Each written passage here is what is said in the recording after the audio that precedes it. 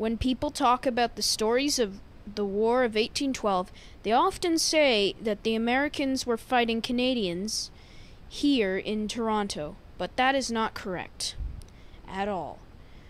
200 years ago, many things were different. The shoreline of Lake Ontario was different. There was no Toronto. There was only a town of York at the mouth of the Don River. Fort York was just a few miles to the west. Canada was not a country. It was British North America. The people were not Canadians. We were the British. Welcome to York, E. John Graves Simcoe built a garrison on the present site of Fort York. Fearful of war with the United States, Simcoe planned to establish a naval base so that the British could control Lake Ontario. Simcoe also moved the capital from the exposed border of Niagara.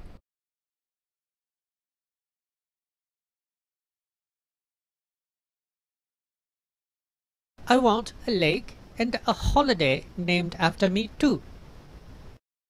Lord Dorchester decided that Lake Ontario Squadron should be located at Kingston, 250 kilometers east of York. Dorchester thought Kingston could be supplied more easily than isolated York.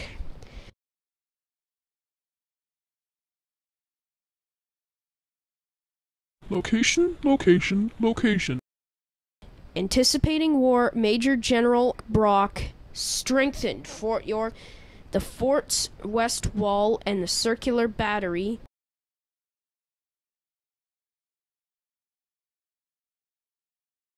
Let's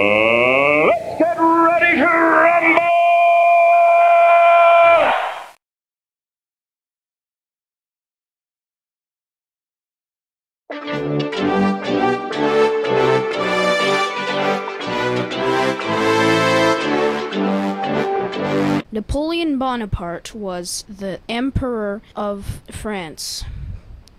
He was fighting all over Europe, a threat to world peace. I am going to take over the world.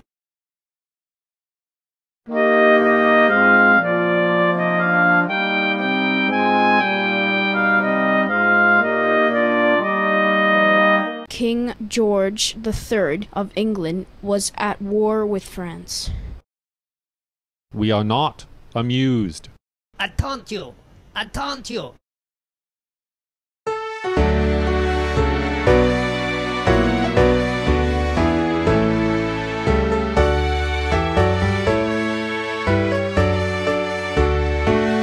The United States had declared themselves a neutral country in these wars in Europe.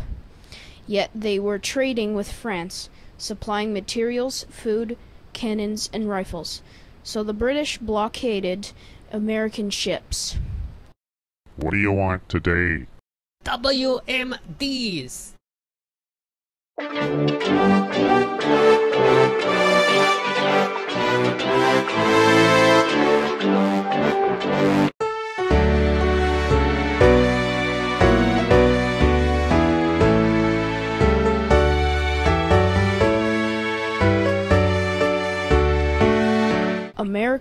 Was also expanding their own territories, looking both westward and to the north. British North America, Upper and Lower Canada. We're going to take over the world.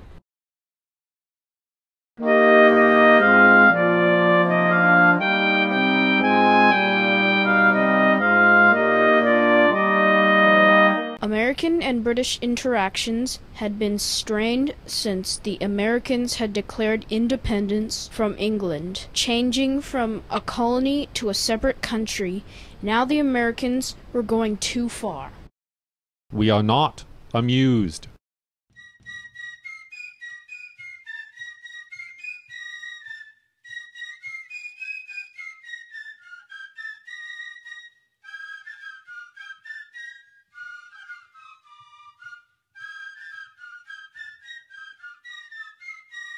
In 1812, the United States declared war and invaded Canada.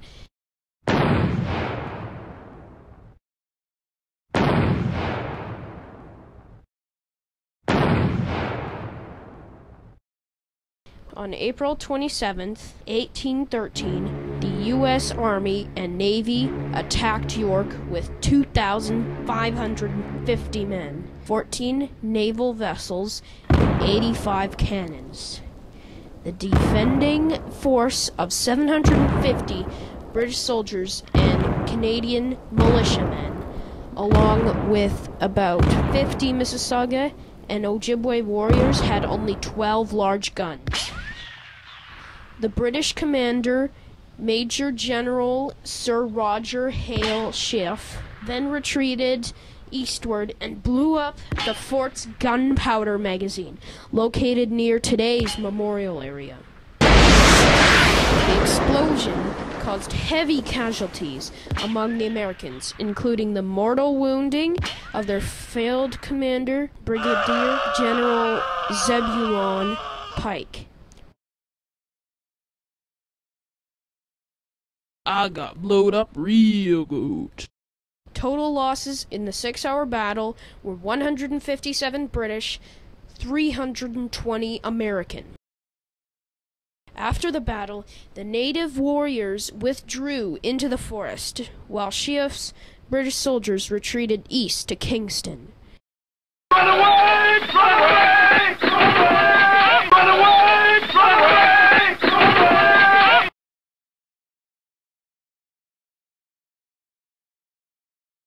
He who fights and runs away may live to fight another day. The delicate task of surrendering York fell to the local militia. The Americans occupied York for six days. During this time, they looted homes, seized or destroyed supplies, and burned two public structures Government House and the Parliament buildings. America, America.